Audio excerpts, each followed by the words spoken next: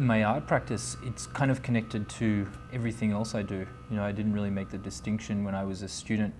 I kind of, uh, well, I think I started to connect the dots, like what I did on the weekend was as important as what I was doing in a studio.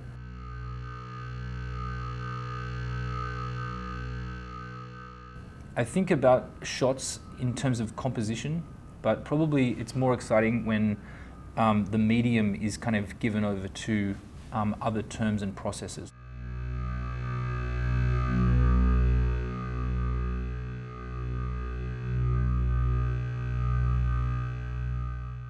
This new exhibition, Stereo Sequences, is the first in ACMI's new series of commissions, Horizons.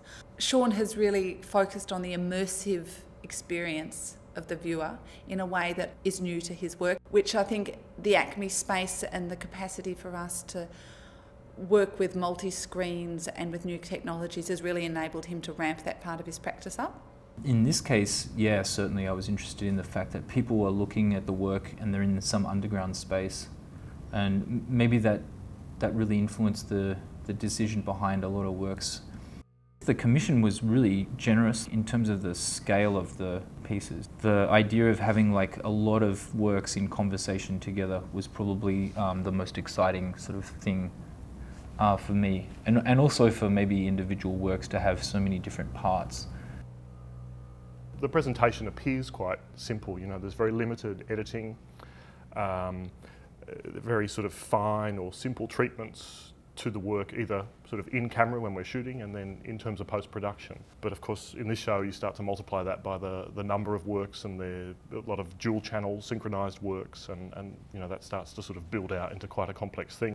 Stereo Sequences really represents the first time that he's used large-scale immersive architecturally designed multi-screen installations Shaun has been interested in sort of positioning the viewer in between screens for quite a while.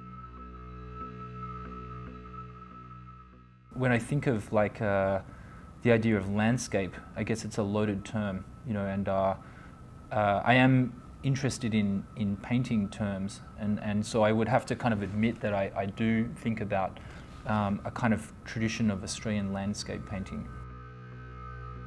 Shaun has in the past worked in a variety of rural and sort of urban landscapes in Australia and overseas. He's made works in arcades in Korea. He's made works sort of famously in Broken Hill with the Maddestmaximvs series, which he's returned to again here in Parallel Forces. The locals call it the Outback Hollywood. You know, it's, it's been a very well represented um, chunk of uh, Outback Australia. And um, I guess I, I, was interested in the fact that it has this history of representation. So uh, certainly, you know, George Miller locating Mad Max 2 there was a huge factor. But maybe the, the fact that um, all of these representations from like Razorback to, you know, Wake in Fright, all of these, these films and even TVCs being based there, they kind of gave me an image bank um, of that space before I even physically visited the location. So I'm, I'm interested in this kind of comp complex kind of relationship that we have to um, space via representation. Some of these video works are perhaps even more simplified. They're quite raw in, in some sense. So it's been nice to work in, in that way, which is not particularly precious and it kind of values the experience. And I think that's the case for a lot of the work and it values the, the performances. Over time, Shaun has worked with quite a tight group of performers. But this time he expanded that group of people and went looking for other performers to try and diversify his attention to the types of sort of subcultures of movement and bodies. Uh, I knew that I was going up to Sydney and meeting up with other performers that were dancers or martial artists or something within the field of sort of street culture, urban culture. And uh, yeah, he asked us to spin.